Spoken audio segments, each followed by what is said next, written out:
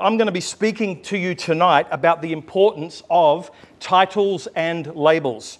We do live in an age, in a particular time, where uh, it is quite common for people to say things like, um, I just want to be called a Bible believing Christian. That's the, that's the phrase. If I'm going to have a title, it's just going to be Bible believing Christian. And so we're going to talk a little bit about that. I'm going to see why we need actually to have some more words when we attempt and set out to articulate the truth of Scripture that God has given to us in His Word. I want to start with 2 Timothy 3, verses 16 and 17, which read, All Scripture is breathed out by God and profitable for teaching, for reproof for correction and for training in righteousness, that the man of God may be complete, equipped for every good work.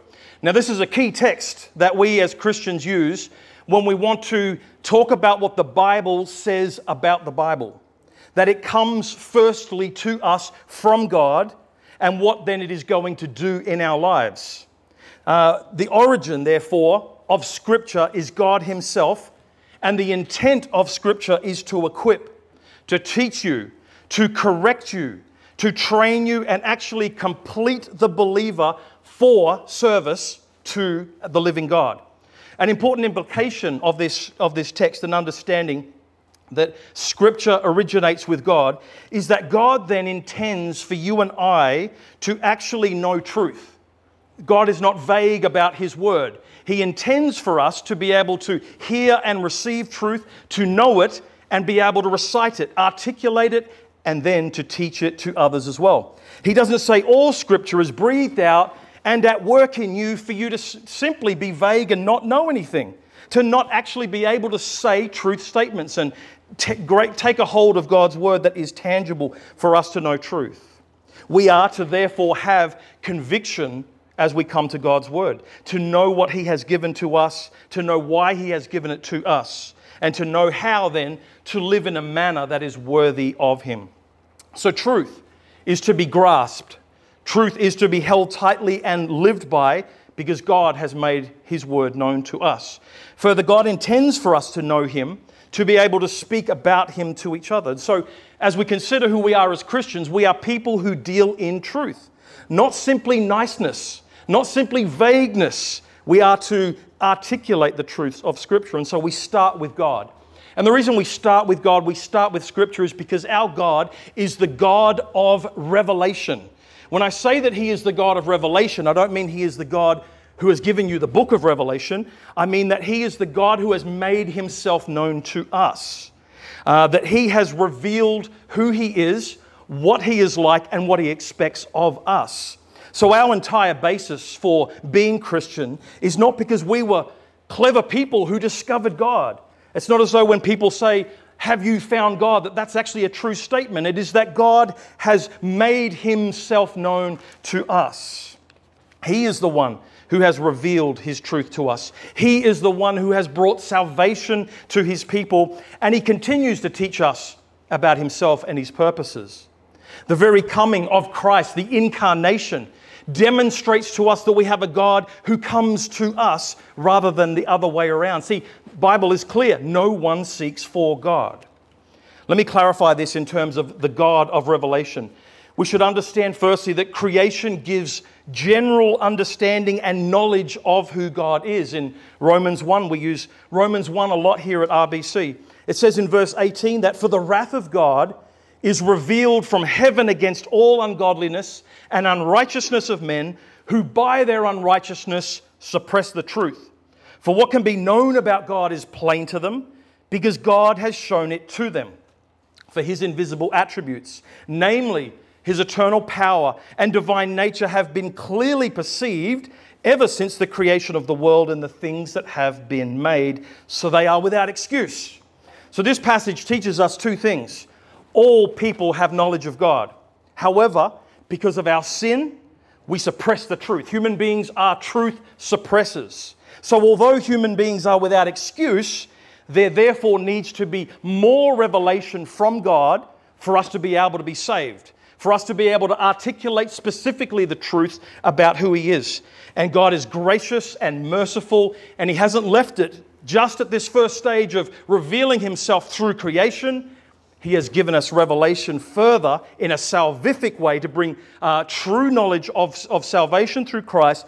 And he has done this through the living word and through his son, Jesus Christ. Being then that truth isn't something that we come up with, but rather it is something that has been given to us. And so this means that God intends for people to be able to know and articulate truth, to be able to confess it and tell others about Him and His Word. It's not arrogant to say, therefore, that here is the truth. We live in a time where people are against having an absolute truth, but truth is what we get from God because He has revealed it. The message, therefore, does not originate with us. We are simply telling the good news as it has been given to us, confessing the truth as it has been told and made known to us from God Himself. So we speak and we convey truth. We uh, teach on it as, as it has been given to us to articulate the wonderful truths about our glorious God and His wonderful gospel, salvation in Christ. Uh, we use, therefore, titles and labels and even denominational names to help us in this quest to be able to say true things about God. One example of this that we, that we know so well is the use of the word Trinity. Uh, the word Trinity, as we know, doesn't, uh, doesn't, isn't found anywhere in Scripture, yet the teaching of, trin- of the Trinity, the, the, the truth of it, is from Genesis to Revelation. All of Scripture conveys to us the reality of who God is a Trinitarian God, Father, Son, and Holy Spirit. So we use a title, we use a word to be able to articulate the truth. See, it's popular today for people to have less concern about these titles and denominational names have, having, having this and knowing what that meant has fallen on hard, on hard times. It's popular for people to have less concern for the distinction of their denomination and actually less concern for theology and what the theology of a church is. Instead, they have more concern for other things, particularly when they are looking to a local church and what, what does this church have and that church have that, that will be pleasing to me if I'm looking for a, for a church for my family? And they, in their quest, the three things that I often hear from people are firstly, that they are looking for a welcoming community. The, the, the, the, key aim of going to a church and looking for, for a place to stay with your family is if they are a welcoming community. That's high on the list. The second one is music that they like. Uh, a search to see whether or not the music is going to be fitting to their taste. And the third one, which is probably ranks higher on, on, on this list, is whether or not the kids and the teenagers are going to connect. In such a case, it's actually sad that what takes place is that the unregenerate, untrained teenager actually chooses for the family where they will go to church. Not mum and dad having studied the positions of the church to be able to say, yes, this is a sound church that aligns with Scripture. They look to the teenagers who haven't even come to saving faith yet. In discussions with people over the years, this is the, these are the things that I often hear first and foremost that they are looking at. Now, now some of that's not, not ultimately bad, right? I mean, being a welcoming community, we can make a biblical case for that. That's good to show hospitality and welcome people in. Uh, having music that doesn't hurt your ears and make you want to claw the person next to you, that's, that's, a, that's a bonus, right? Having, uh, having the teenagers, the kids connect in with the church, fantastic, that's, that's helpful. But is that really the benchmark? In an age where truth is under attack, uh, do those things really make a sound or healthy church? Would it really not matter what the church's theology as long as they were nice people who could play songs well? See, the summary of our Christian faith is not simply nice people and good music and babysitting. The church is called to be the pillar of truth in our world. 1 Timothy chapter 3 15 says, If I delay, this is Paul writing to Timothy, you may know how you ought to behave in the household of God, which is the church of the living God, a pillar and buttress of the truth. I would argue that in our day, our view of the local church and how beautiful it is is actually at an all time low, way too low. Hear that text again. The church it's the church of the living God. It's His church, a pillar and buttress of the truth. It belongs to God, it represents Him, proclaims His truth, proclaims His gospel that rescues somebody from the depths of hell. And so the truths that we speak are to be found in Scripture and recited on a regular basis by the church to the community, to families, and to the world around us. That means that we are supposed to speak with conviction. We are supposed to. We're supposed to know and tell the truth. So, titles, labels, uh, names of denominations are going to articulate these truths. They are necessary for it. See, every single church has theology, and they will impart it into you whether you're aware of it or not. The truth is, theology is unavoidable. Every single Christian does theology every time they open their mouth. When they say something about God, they have said a theological statement. The difference is whether that theology is good or false. Theology is simply words about God or study of God. And all Christians engage with theology the moment we talk about what God is like, about what His Word says, and what He expects of us. The second consideration for our day in terms of denominations. Denominations for people can just seem too hard and too difficult. Again, this, this concept of I don't want to have these type of labels. It's so common for Christians to reject this. Uh, consider this one statement that, that I've heard multiple times, uh, something to this degree. It says Baptist on the building or the website, but that means nothing to me, says one member who has been at a Baptist church for 20 years and still has no idea what it even means. What this type of statement demonstrates is that there is actually a big disconnect from Christian brothers and sisters who paved the way before us. So the denominational mean, names mean something, they have meant something. Important truths. The names and titles are the human words, yes, but necessary for giving the life giving truths found within Holy Scripture. To ignore our history as Baptists is foolishness. Yet today, so many Christians live in an isolated world, an isolated Christianity cut off from the ones who came before them. From the history that teaches of the mighty work of the Holy Spirit in the lives of brothers and sisters who came before us. Consider another popular statement, as I mentioned in the beginning. I belong to no denomination. I'm just a Bible believing Christian, says another long term Baptist church member. Now, first, it just it sounds like a phrase we, that we all want to use and think maybe that just sounds right. For the sake of unity, let's leave all of these titles and, and these labels. This sounds maybe even more noble and, and just better, maybe. What the person doesn't realize is that Bible believing Christian has been shared by so many different people, all claiming very, very different truths all claiming very, very different things, and even heretics and a Jehovah's Witness and a Mormon will claim that I just believe the Bible. So if you're of that uh, understanding and that's where you would like to be, I just want to be a Bible believing Christian, are you prepared to be in the same camp as those heretics who will say that I just believe in the Bible as well? Or can you see then that there might be a need for some additional words to help set you apart from the heretics?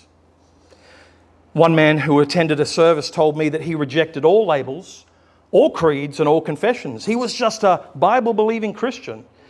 Well, he turned out to believe that humans are born sinless, despite what Scripture teaches. He turned out to believe that the Bible's prophecies were already complete, that Jesus had already returned. And he was just claiming that title Bible believing Christian. Would you like to be in the same camp as him, or would you like some of those additional words to help uh, uh, explain and teach of the truth of what Scripture gives to us. In response to the anti denominational uh, times that we live in, one author writes uh, uh, positively in, in, in stating that denominational structures offer freedom of choice concerning belief and worship. So if you go to a church and you ask what their theology is, you can find out what they believe that Scripture teaches and reveals. If a church is upfront uh, and can teach with conviction about their theology, then you can make an informed decision. And it causes you to be responsible and uh, show discernment in studying the scriptures yourself. Uh, the second statement was that, that a denomination enables a collaborative approach to such enterprises as mission and theological education. See, having a banner of, uh, of like minded churches unites us in truth and we can labor together with other churches for God's kingdom, strengthening and encouraging one another, being a cloud of witnesses and professing the, the precious truths of the living word. To this, another author adds that denominational identity provides the basis for, for a coherent form of theological reflection and faithful living. And so, this is the point titles and labels mean something. A mature believer is happy to be labeled. Happy to be labeled because the label conveys meaning about God's beautiful truth. What we mean uh, and, and to convey when we speak of God is found when we use these labels. To take seriously the words that God has given us and to aim to live faithfully and fully pleasing before Him. See, Christians are always aiming to, to convey the, the things that we find, and one of them being the gospel of Jesus Christ by which we are saved. We are supposed to be equipped to be able to proclaim the good news of His death and resurrection for sinners, that souls would be won for the kingdom of God. Now, don't get confused here. We seek unity in the preaching of the gospel of Jesus Christ with those who are orthodox in faith. While we congregate in different places due to belief and practice, we of course recognize true believers and uh, we uh, uh, work alongside for the gospel proclamation in this world to see the kingdom advance. Yet, this side of eternity, it is fair to say that denominations and labels are unavoidable. I'm also not saying that when you introduce yourself to somebody and you're wanting to share your faith and evangelize them, that you need to uh, uh, introduce yourself as a Reformed Calvinistic Baptist or whatever labels and titles that you might be helping to articulate your theology, you might just use Bible believing Christian in those times. I, I'm a Christian who believes that the Bible is the Word of God. But we're saying when somebody is a new convert and they're going to come into a church, we're going to need to be able to direct them to healthy churches, and these titles are going to matter. Behind them is the truth of God's Word, and even See, even to be non denominational, which is a, a, popular uh, for, for, some people to say they're non denominational. Uh, it, it's, it's ironic because what happens when you say that you're non denominational, you're actually distancing yourself from others. You're causing a division when you say you're non denominational. You cannot avoid the fact that there will be denominations. So our titles are going to matter wherever we attempt to speak the truth of God's word. And so this conference is a conference about being Reformed Baptists by the conviction of Scripture through deep study and joyful labor of the Word. Labor in the living truth of God. To study theological history, gleaning from the saints who came before us, walking the path before us. The Bible has been given so we can know truth. Christ Himself is truth. Therefore, truth is to be known and explained and understood. A person isn't obnoxious or arrogant for stating truth because God has given it to us. In John chapter 8, verse 32, it says, And you will know the truth, and the truth will set you free. You will to know it, and therefore you're able to tell it to others. In John 17, 17, it says, Sanctify them in the truth, your word is truth. And then Paul says in Ephesians 4:15 that we are to speak the truth in love. Today, many people think that means make sure you're nice to everybody and don't ever upset anyone. Speak the truth in love will upset people at times because the truth does offend when we speak God's word. But yes, we speak it in love for the good of the person's soul that they might be redeemed and won into the kingdom of God.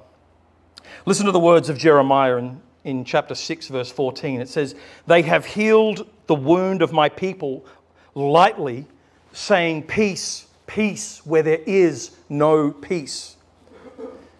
The only peace that actually matters is truth based peace.